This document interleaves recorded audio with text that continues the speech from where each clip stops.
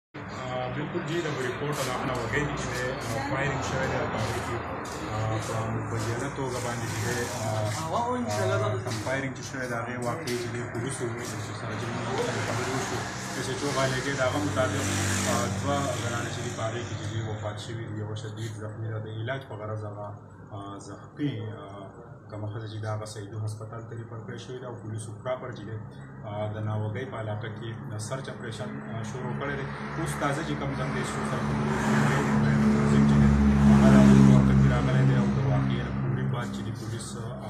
سپاټ ته رسېدلي دي او هلته کې چې دی هنګامي بنیادونو باندې چې دی عملیات پیل کړي دي نو په دغه نتیجه کې چې دی یو کس د هغوی په دغه کې مبینه ملزم چې کوم د هغوی په ورکه کې راغلی دی مزید چې دی هلته کې تفتیش چې دی هغه شروع دي او سرچ اپریشن دوران چې دی